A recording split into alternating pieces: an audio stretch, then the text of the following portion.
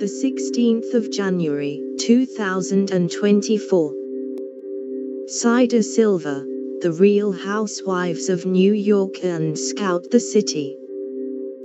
I've controlled my narrative every step of the way, and now, I'm passing this torch to a famous television show and people can pin me into whatever they want.